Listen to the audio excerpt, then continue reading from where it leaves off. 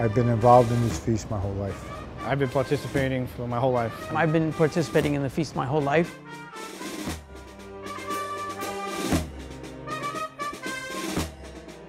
The feast has been going on for 129 years.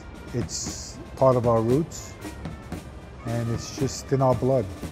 People that are in this neighborhood all their lives get involved. It's, it's in their blood. They're here every year. When you do it, you, you feel uh, pride and happiness to celebrate a tradition that's been brought over from, from Italy and from our ancestors. You know, you plan your summer around the feast. Nobody gets married during the feast. Nobody goes on vacation during the feast. It's something that's central. Giglio lift is everybody comes down. We get underneath the statues. The capo Baranzo gives the commands to lift it. And each capo would have his own song. And we dance it through the streets. The number one has to okay all the lifts. It took me over 40 years to go from a lifter to the number one capo Baranzo. It's something that really has to be experienced. You know, it's, it's something that is, you could describe it and that's nice, but to be there and to see this tremendous tower literally dancing down the street is, is very amazing. The Giglio may not be going from point A to point B. It could be spinning in a circle, it could be bouncing and dancing in one position. The Giglio with the full band is approximately four tons. You don't have to be a muscle man. You're just going to be able to have endurance more than anything.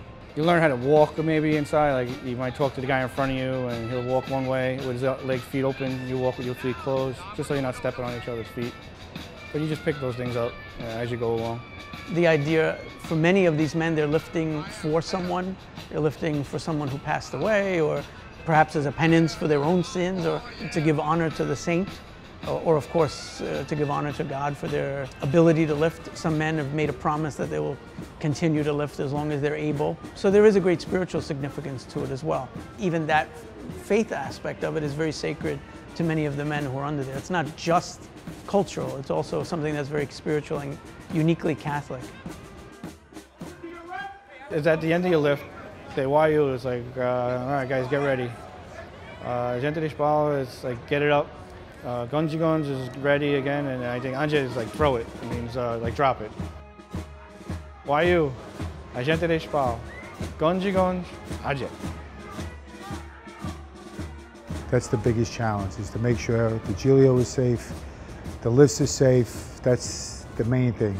And then everything falls into place. People put up with it years ago because it was part of their tradition, but not the new people here. It's not part of their tradition. We're trying to get them involved. We invite them to come, and we hope they do. And we hope we under, they understand that uh, although they're in the neighborhood, they call us the leftovers. That's what we're called now. This is a tradition that should be respected like we respect them.